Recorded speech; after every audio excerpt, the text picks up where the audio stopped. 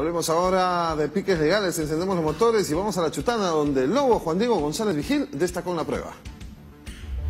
Los piques legales no defraudaron en la chutana, donde la velocidad y adrenalina se hicieron presentes con más de 160 autos.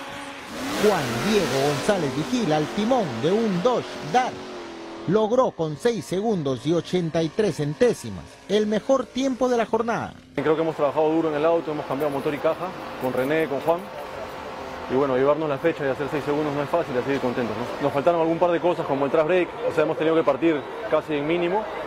6.80 es un buen tiempo, es más o menos lo que nos esperábamos. Cre creemos que podemos llegar a 6.50, pero bueno, hemos disfrutado, la fecha ha estado bonita, la gente ha venido, así que contentos. Este año vamos a salir un poco más fuerte, ¿no? Está Tico, que tiene el, el Malibu, que también corre 6. Va a sacar el Monte Carlo, que también va a estar rápido. Este, bueno, de repente viene Domingo con otro Barracuda.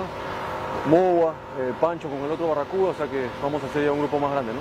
Con 7 segundos, José Quicaño llegó a la meta al bordo de un Toyota Celica. El carro definitivamente está más rápido, pero al ir más rápido hay otras cosas que van fallando. Ahora el embrague es el que nos ha traicionado. Ha estado patinando en la, a la hora de hacer el pase y no hemos perdido cerca de dos décimas, tres décimas ahí. No nos ha dejado entrar a seis, ¿no? Los 8 segundos volvieron a regalar grandes duelos.